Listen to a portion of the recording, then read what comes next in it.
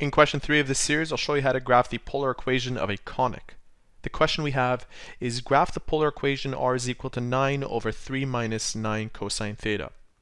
The first step to doing this is to write this in one of the standard forms, and in question number 1 I showed you four standard form equations. The one that matches this particular equation is shown right here. So what we want to do is make this look like the standard form. And we can do that by first factoring out a 3 from these two terms what that will end up giving us is an expression where we have 1 minus a number in front of cosine theta. Let me show you what I mean. I have r is equal to 9 over, I'll factor out a 3 from both. This becomes 1 minus 3 cosine theta. I can reduce this further, 9 divided by 3 gives us 3 at the top and 1 over here. So our equation is r is equal to 3 over 1 minus 3 cosine theta.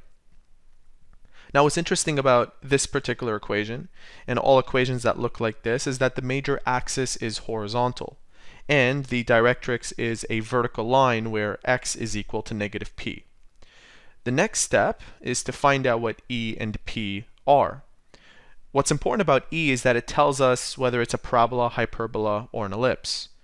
Take a close look at what we've been given here. We have 3 cosine theta. Our E value has to be positive 3. And you're probably wondering, it's negative 3, how is it positive? Don't be fooled. This is the same thing as saying 1 minus plus 3 cosine theta. And this is why E is equal to 3. And since E is greater than 1, we can determine that we are dealing with a hyperbola. Furthermore, we need to find out what P is because that's related to the directrix. And if you take a look at the standard equation, we have EP at the top, so I'll set 3 equal to EP. And I already know that E is equal to 3. So to solve for P, I end up with 3 over 3. Therefore, P is equal to 1. And if P is equal to 1, the directrix is that x is equal to negative 1. We have most of the elements we need to start graphing. In fact, we'll start with our polar plane. We just determined that we're dealing with a hyperbola. This means that we'll have two vertices just remember what a hyperbola looks like. It's a curve that opens up in two different directions. So we know we need two vertices. We already have the directrix. It's at negative 1. And given that it's x is equal to negative 1, it'll be a vertical line going up. So I'll draw a rough line at this first ring. That's our directrix. To find our vertices, and since our major axis is horizontal, we'll have a hyperbola that opens up like this. Therefore, we will have a vertex at angle 0 and a vertex at angle theta. Now, of course, this is just a sketch, so don't give it too much value. Let's go ahead and find out what the actual vertices are. So our equation again was r is equal to 3 over 1 minus 3 cosine theta. When theta is equal to 0, cosine at 0, if you recall what cosine looks like, it's 1.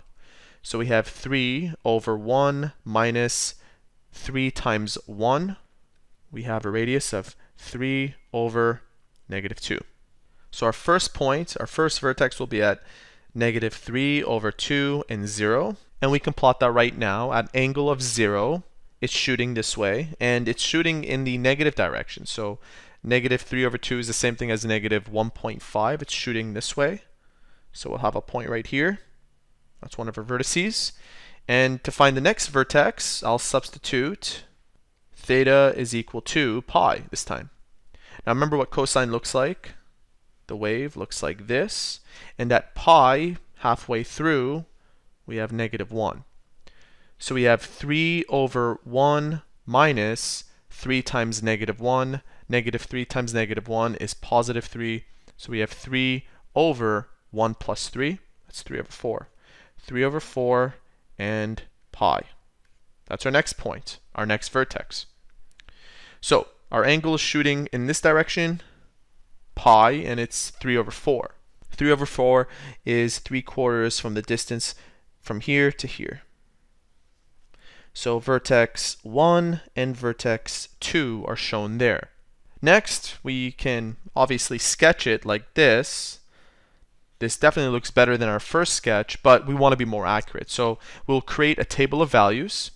And my table will consist of points or random points between 0 and pi. And of course, the more points you choose, the more accurate your sketch will be. So my table will look like this. The r values you should get if you substitute these into your equation are, so let's go ahead and plot these, starting with pi over 6. Pi over 6 is in this direction, but it's negative 1.9. So negative 1.9 means that we're going in the opposite direction. You'll have a point right there that takes care of that. Now we have 2 pi over 3. That's in this direction, and that's 1.2. So we'll go in the direction that it is traveling. 1.2 is approximately there. And finally, 5 pi over 6 at 0.8. 5 pi over 6, 0.8 is just shy of that first circle. So our hyperbola will begin to shape up like this.